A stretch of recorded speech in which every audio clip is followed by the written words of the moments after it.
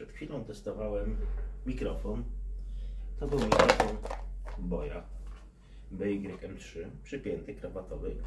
Kabelek 6 metrów. Fajny bajerek. A teraz jestem bez tego mikrofonu. I ciekawy jestem, jak ten telefon będzie nagrywał, kiedy stoję w tym samym miejscu. Mówię tak samo głośno. No więc dobra. Test mikrofonu Boya BYM3.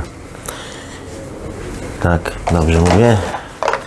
BYM3 na USB-C. Czy ten mikrofon działa? Jeszcze nie wiem, zaraz się przekonam.